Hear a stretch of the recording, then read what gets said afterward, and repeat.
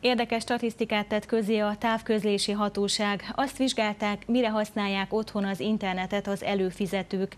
Az új felmérés is kimutatta, egyre többet és egyre gyakrabban internetezünk. Az előfizetők 16%-a két-három naponta, 4%-a hetente egyszer internetezik, ám a felhasználók háromnegyede naponta használja az internetet. A 16 és 24 év közötti fiatalok majdnem mind ebbe a kategóriába sorolhatók. Persze ez a még fiatalabbak körében is előfordul.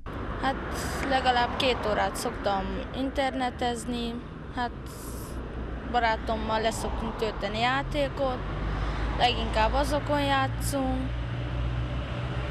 Szoktunk együtt játszani, multiplayerezni. A statisztika szerint a hazai internetezők több mint fele játszik online játékokkal. Ennél kevesebben 39%-uk él az online vásárlás lehetőségével, a számlafizetés mutatója mindössze 22%-on áll. A legtöbben hírolvasásra, információk keresésére használják a világhálót. Hát úgy mondjuk naponta fél órát, ennél többet nem, igen.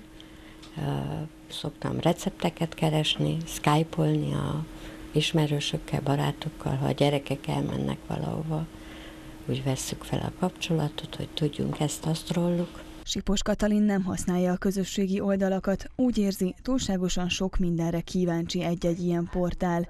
Vele ellentétben a hazai internetezők 77%-a rendszeresen, akár naponta többször is megnyitja a közösségi oldalakat. Napról napra nagyobb teret hódítanak a táblagépek, okos telefonok is.